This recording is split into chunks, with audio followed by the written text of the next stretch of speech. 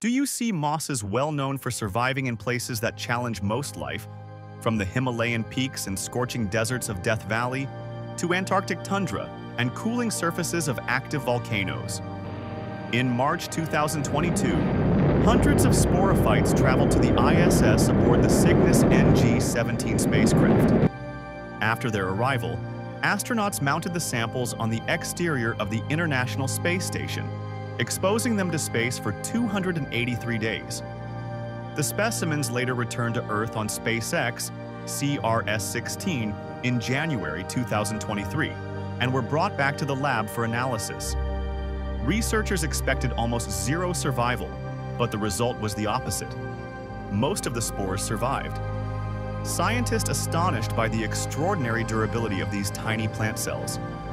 More than 80% of the spores endured the full trip, and all but 11% of those survivors successfully germinated in the laboratory.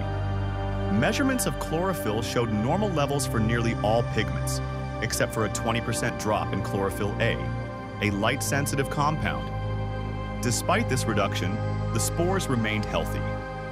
This gives the first evidence that an early land plant can survive long-term exposure to space conditions.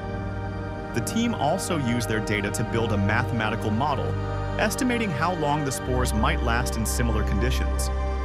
Their calculations suggested a potential survival span of up to 5,600 days, or about 15 years. Ultimately, we hope this work opens a new frontier toward constructing ecosystems in extraterrestrial environments, such as the Moon and Mars,